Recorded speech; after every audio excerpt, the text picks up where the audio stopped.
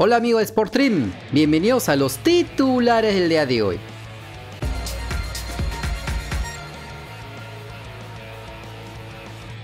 Por la primera jornada del Grupo G de la Copa Sudamericana 2024, el Deportivo Garcilaso le ganó como local por 3 a 2 al Metropolitano de Venezuela en el estadio Inca Garcilaso y La Vega.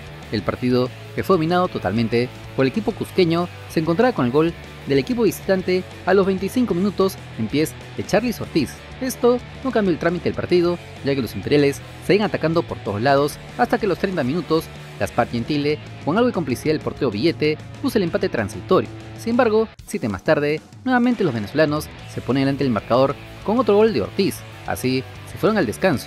En el complemento, el dominio cusqueño fue mucho más acentuado, pero carecían de puntería en el remate final hasta que a los 60 minutos Adrián Huerriza generó un penal que fue aprovechado por Pablo Ilustres para poner el empate a 2. El tiempo restante fue un constante ataque contra defensa, donde parecía que el pedacito de cielo no conseguiría la remontada, hasta que a los 93 minutos, tras un mal rechace al borde del área, fue tomado por Anthony Gordillo para meter un latigazo que se le coló al portero rival para darle los tres puntos al equipo local, de esta manera, cierra la semana de los clubes peruanos en torneos internacionales con 7 puntos sacados de 12 posibles. Todo esto tras victorias de Universitario Deportes en Libertadores y de este Garcilaso en Sudamericano. Además que agregar el empate de Alianza Lima ante el campeón de Libertadores, el Fluminense de Brasil, y solo nos falló el Vallejo, que no pudo rescatar nada ante los argentinos del Defensa y Justicia en la otra mitad de la gloria, aunque hay que acotar que todos jugaron de local, Esperemos que la siguiente semana, en que juegan de visita en Colombia, Paraguay y Brasil, también saquen buenos puntos, porque es clave si desean clasificar a los octavos de final de las Copas Conmebol. Y las novedades en Universitario Deportes siguen a la hora del día. Como se sabe, el equipo Crema y ese capítulo de Copa Libertadores pero están concentrados en retomar la punta del torneo de apertura, al menos hasta que juegue el Sporting Cristal. Como era previsible, el envío anímico de los merengues tras darle la vuelta al marcador al campeón de Sudamericana, Liga Quito, es enorme, por lo que vienen repotenciados a la liga local, donde este viernes por la noche son favoritos frente a los sudanenses en su estadio al monumental Umarato, donde hecho sea de paso, los churres vienen de tumbo en tumbo y peleando la parte baja de la tabla de posiciones. Todos los detalles los trabajos en ATE y el posible equipo titular lo trae el periodista deportivo Gustavo Peralta y T de Perú. Bien, el día martes Universitario derrotaba a Liga Deportiva de Quito en su estreno por Copa Libertadores. Y este viernes volverá a tener acción, pero por la Liga 1, enfrentando a Alianza Atlético de Sullana. Duelo de este viernes que marcará el inicio de una seguidilla de partidos del cuadro crema. Siete partidos van a disputar en estos próximos días, en este próximo mes. Le damos el itinerario. El viernes, este viernes, se enfrentan a Alianza Atlético. El martes 9, muy seguidito, enfrentarán a Junior de Barranquilla en Colombia. Luego, nuevamente compromisos por el torneo local, enfrentarán Sport Boys y Unión Comercio, ambos duelos como visitante, para luego finalmente medirse a Botafogo en Brasil.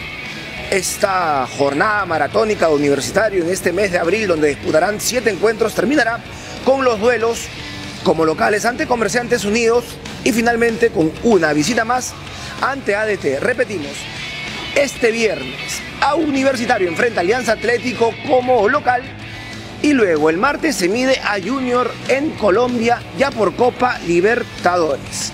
Ahora, sobre este panorama, el administrador de Universitario, Ian Ferrari, hace un balance. Escuchemos sus palabras y luego conversamos. En general, nosotros no, podemos acá eh, puntualizar y hablar solo de uno porque el centro, los centros de Pereguedes, el centro de eh, el pase de Concha fueron magníficos. La jugada previa de Andy Polo fue espectacular. Britos atrás, Riveros atrás es una muralla. Eh, Sarabia en un grandísimo nivel, lo de Corso es este, envidiable, en fin, o sea, no podemos puntualizar Acá no podemos hablar de, solamente de uno porque esto es un juego colectivo, un juego de conjunto. Eh, resaltar el gran trabajo de Fabián Bustos como entrenador también es para sacarse el sombrero, ¿no? Por primera vez eh, en, este periodo de dos años participando en fase de grupos de Copa Libertadores. El año pasado participamos en fase de grupos de Copa Sudamericana y arrancamos también con un triunfazo en, Argentina eh, contra Gimnasia Las estadísticas están para romperse y es lo que nosotros venimos haciendo ya hace, hace algún tiempo. Sí, el 11 con Britos en el arco, ahí entra un poco si quieren algunos la discusión de que Romero debía tapar o no, pero sigue Britos en el arco, sonríe y Delgado. La defensa, la novedad es que va Piero Guzmán, no va Aldo Corso que le va a dar descanso, William Riveros y Matías Di Benedetto, Ureña volante ancla, las otras novedades son Calcaterra y Uriel Celin la volante como interiores, Andy Polo que no descansa como carrilero por derecha, Portocarrero por izquierda, Rivera y Valera completan el equipo, Jairo Concha está concentrado con el equipo, parece que sale en lista. Arranca el tunche. Lo de Christopher González parece que es un desgarro, mañana se terminará de confirmar y Olivares va al banco suplentes. Hay que agregar que los cremas no iban con bajas, es más, recuperaron al defensa argentino Matías Di Benedetto, al mediocampista Horacio Calcaterra y al delantero merengue Alex Valera. Sin embargo, para evitar alguna posible lesión, el técnico argentino Fabián Bustos rotaría en algo el once inicial ante los piuranos, a sabiendas que lo que se le viene a la U en este mes de abril es terrible tendrán que jugar 7 partidos en 3 semanas, casi uno cada 3 días, por lo que deben dosificar esfuerzos para evitar bajas sensibles en el mes de mayo, donde se define tanto el torneo de apertura como la fase de grupos de la Copa Libertadores. Veremos entonces cómo le va al equipo merengue en esta seguidilla de la muerte. Y las novedades en la selección peruana siguen a la orden del día. Luego acabada la fecha FIFA de marzo, se debía sacar las cuentas, donde lo hecho por el equipo de todos no fue espectacular, pero al menos fue positivo. Esto se vio reflejado en el ranking FIFA que fue actualizado este jueves. Esto ya solo se informamos la semana pasada, pero hoy se oficializó por el máximo ente que monopoliza el fútbol mundial, así lo informó Canal N. Se publicó el nuevo ranking de la FIFA y la selección peruana ascendió un puesto. De la posición 33 en la que estaba en marzo, ahora en abril ha subido al 32.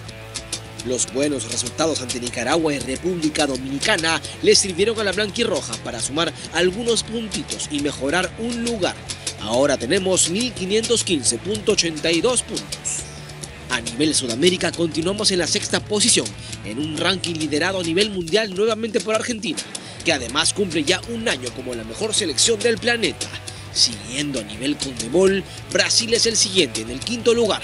Luego aparece en Colombia que subió dos puestos.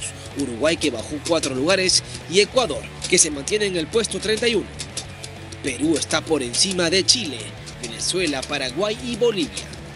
A nivel planetario detrás de Argentina se encuentra Francia en el segundo lugar y ahora Bélgica en el tercero, mandando a Inglaterra al cuarto puesto. Los próximos partidos de Perú serán en junio antes de la Copa América, certamen en el que debuta el 21 de junio frente a Chile. Hay que agregar que la selección peruana no se moverá de su ubicación, ya que no volverá a tener acción hasta junio, en que iniciará su participación en la Copa América. Ya les avisamos de los posibles convocados por el técnico uruguayo Jorge Fossati y hasta el posible once titular que usaría en el debut copero ante la Chile de Ricardo Vareca. Aunque antes que empiecen a ilusionarse con que llamarían a las jóvenes promesas de la bicolor que estuvieron en la fecha doble pasada, como Diego Romero, Eric Noriega, Martín Tábara, Jesús Castillo o incluso el tan pedido por la fanaticada más joven y femenil Oliver Son.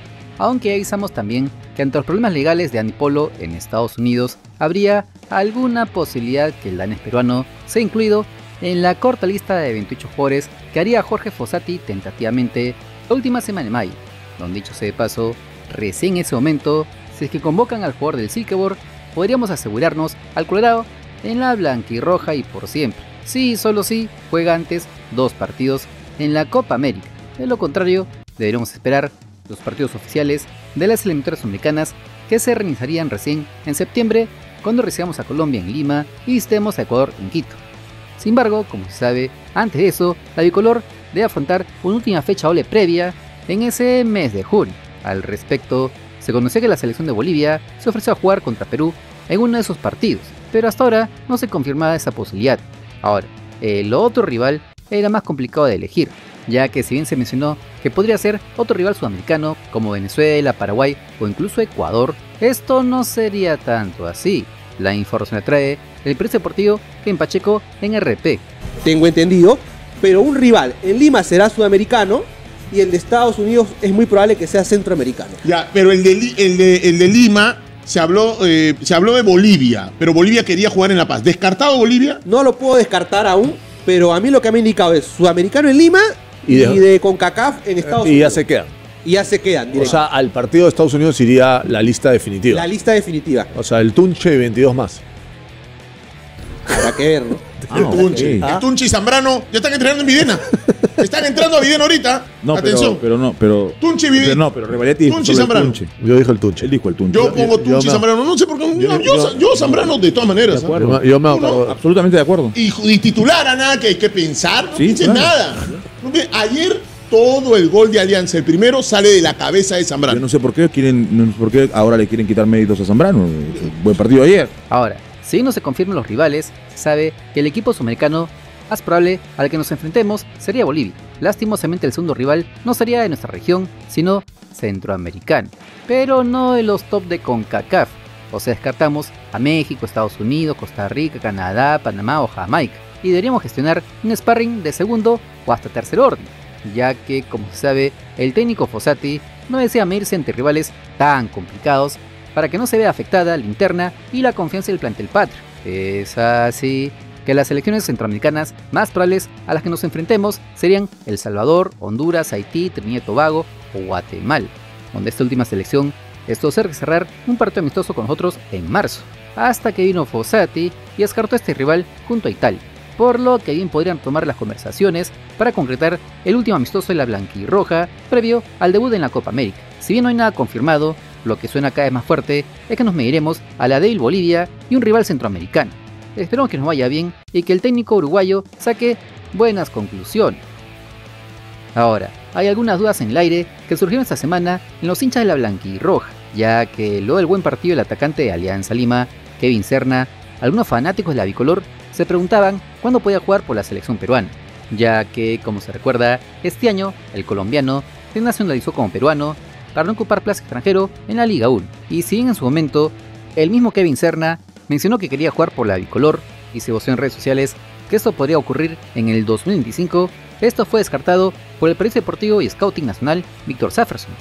Caden Sorna, nacido en 1997, dijo que le interesa jugar en la selección peruana. Para lograrlo tiene que ser elegible, y eso solo sucederá si permanece en Alianza Lima o en el Perú hasta el 2026 entre enero y mayo. Si Alianza Lima lo vende en 2025 y regresa a los seis meses, empieza de cero, como el caso de Bernardo Cuesta. De esta manera, descartada la participación de Kevin Serna en las actuales eliminatorias, ya que el último partido de la bicolor en su pelea por clasificar al Mundial del 2026 será el 14 de octubre del 2025 cuando recibamos a Paraguay en Lima. Sin mencionar que para cuando Serna sea elegible por la bicolor, en caso se quede en el Perú, tendría 28 años de edad. ¿Estará todavía en su prime, tapando el espacio a otros jóvenes talentos peruanos?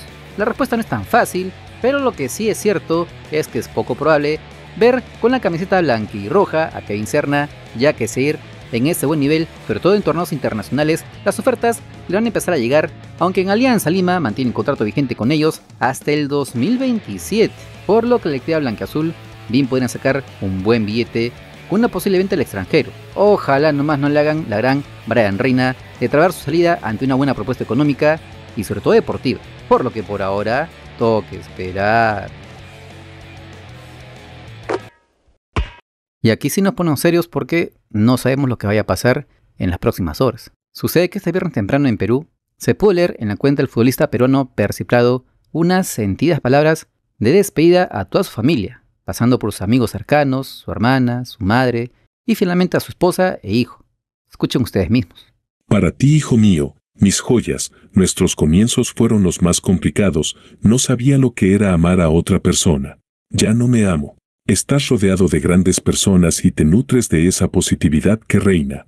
Crezca para ser un hombre fuerte y recto. Se convierte en el pilar alrededor del cual se reúne toda la familia. Mantente así de feliz, nunca pierdas eso. Te amo mi hijo. Y ahora a ti, mi alma gemela, mi doble, a quien más daño he hecho. Date cuenta que eres una mujer extraordinaria y encontrarás a alguien igual a ti. Nunca te menosprecies por nadie, quédate como eres. Te amaré hasta el final. Siempre seréis parte de mi familia, sed unidos y fuertes juntos. Te encomiendo a mi hijo que también es como el tuyo. Tengo confianza ciega en ti, sé que nada le sucederá a tu lado. Siempre te dije que serás tú donde nadie más y serás la última mujer que hubiera amado. Sé feliz en tu vida y nútrete de las buenas personas que tienes a tu alrededor. Siempre dije no tengo arrepentimientos en mi vida, ahora tengo dos, irme sin que lleves mi nombre ni mis hijos, pero serás una mujer y madre extraordinaria, estoy convencida la mejor de todas. Ahora a todos vosotros, sed fuertes entre vosotros, quedaos como estáis, yo os quitaré el peso del sufrimiento que os haya causado. Sois una familia, no lo olvidéis. Cuenten unos con otros, nunca dejen a nadie solo. Os encomiendo mis dos amores, no los abandonéis, eso es todo lo que os pido a cada uno de vosotros. No me llores, recuerda a este niño feliz, y nada más cuidarte todos juntos. Finalmente, a cualquiera a quien haya podido hacer daño, le pido sinceras disculpas. Dios te protege. Los amo a todos. Como padre les puedo decir que no hay palabras más dolorosas que estas. No sabe nada oficial hasta la grabación de este video, pero desde aquí elevamos una oración para que ilumine a Percy Prado y piensa que esta vida aún tiene mucho por ofrecerle y que él tiene mucho por qué vivir. A la distancia, todas las fuerzas y sabiduría en estos momentos difíciles y un llamado a la salud mental que es tan importante en este loco mundo. Fuerzas y muchas bendiciones a la distancia. No te olvides que si quieres estar enterado de las últimas novedades de nuestro balompié, solo suscríbete al canal porque somos el canal del fútbol peruano. Si te gustó el video de like, comparte, suscríbete con la campanita. Nos vemos en el siguiente video. ¡Chao!